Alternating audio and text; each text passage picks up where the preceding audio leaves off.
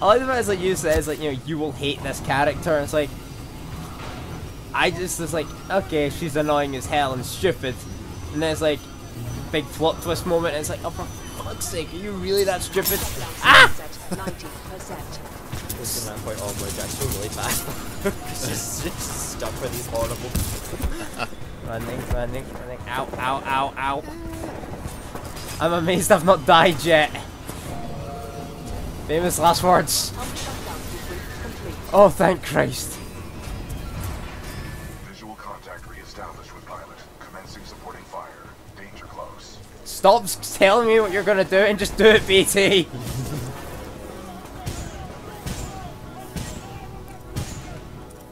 right, BT, open up, we're getting out.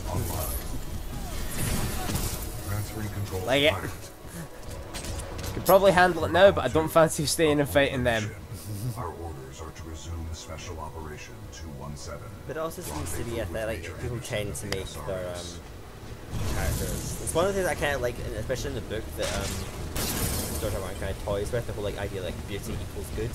Yeah. Because like, say take for talk we say, the Lannisters probably the better. Yeah, there seems to be like a general rule like the prettier the Lannister is, the more awful they are. but Yeah. because it's like they're so You and pretty, everyone tends to to think. Kane's Oh, and that's why you're dead.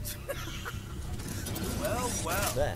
Another runaway hero with an SRS Vanguard class type.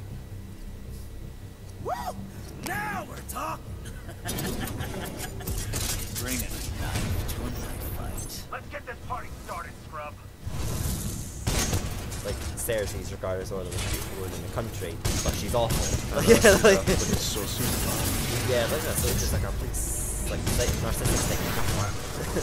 Joffrey's probably sociopath. Well, probably sociopath mixed with psychopath. Yeah, I'd say he's worse. psychopath. He's not really a sociopath. A sociopath just doesn't tend to care, whereas Joffrey actually actively takes delight in what he does. Yeah,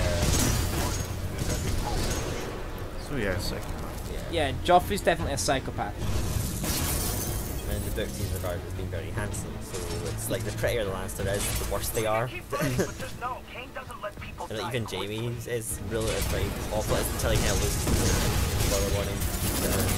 He kind of gets becomes a slightly better person. that seems to be like a rule. If the character's like really pretty, it they're probably Yeah. It seems to be that thing seems to be as if it used to be. Um, I think as like older, like a character you, usually you'd be sort of shorthand. If a character was pretty, then that meant they were good.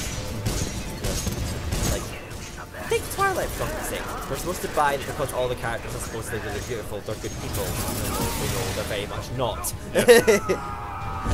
so that'd be exactly like the freaking author Oh, that boss fight's over. That was fast. Well done, pilot. Kane's helmet radio is still intact. We should retrieve it. A bad gun type then is spotted on the facility. Over. But no. Just gonna nick your stuff. Well, he's dead, so why not? Hey, we need reinforcements in the tunnel. Rule of conquest. You kill it, you take it.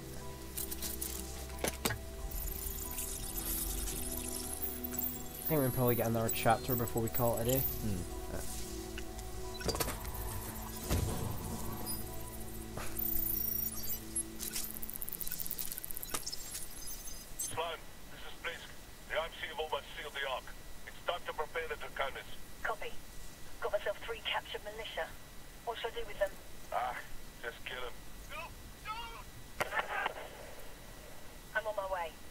now. The ability to decrypt enemy communications has a strong history in warfare. This will work to our advantage. In order I, to survive, we're probably not gonna keep play this moving. game game again soon because we're mm-hmm. planning doing other ones first. But there's a bit near the end of this mm-hmm. where you know that guy Blisk. Mm-hmm. He's in charge of the mercenary company. Spoiler: you never fight him. Really? You fight every other one of his lieutenants, but never him. and there's a bit at the end of the game where you've killed like his top lieutenant, his right hand woman, and then Could be a you go down there. Oh, he's like he show he gets in front of you like your mech's like lying on its back. He shows up and pretty much just goes, "Don't worry, I'm not here to fight you. I don't work for free." Mm-hmm. and then just crouches down on top of your mech. Goes, Watch our step. "You killed a lot of my men." Think you've earned this, and puts down his business card on top of your mech and walks off. Pointing out to the guy who's yelling at him to kill you, hey, you didn't pay me to do it. What are we doing here, BT? We must proceed through this facility and continue to the Which I thought was kind of neat. Major Anderson. It is our only But we were mentioning the sort of rule of beauty or whatever it was. Yeah, What like beauty equals good. Yeah. Accessing um, like- Unknown. Twilight probably played it. If, if because we're supposed to think it's because the characters are supposedly insanely beautiful, they can do no wrong. Yeah. Like, the author would have us genuinely believe that, even though we know they're all horrible people. Yeah, they're all completely god awful people. But the author was like, no, no, they're so beautiful. That means they're good. And it's like, no, they're not at You all. idiots. Yeah, they're not. And like, obviously, Game of Thrones, as it seems to be a rule, if the character is really beautiful, they're probably evil. Probably the one exception to that would be Margaery, I think.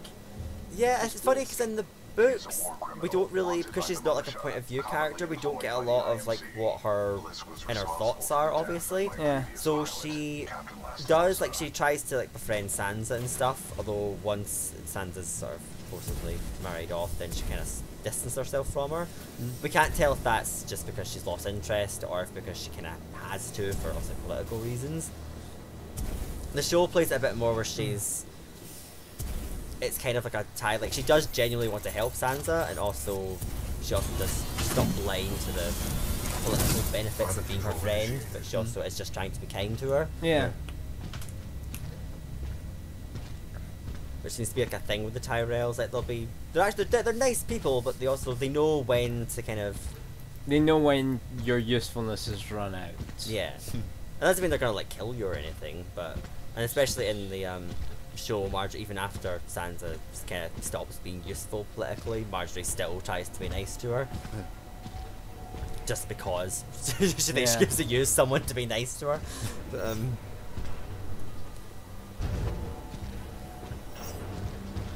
Oh yeah, you need to be careful here because you can get hit by these things, Oh. and if you get hit by them into a wall, you die.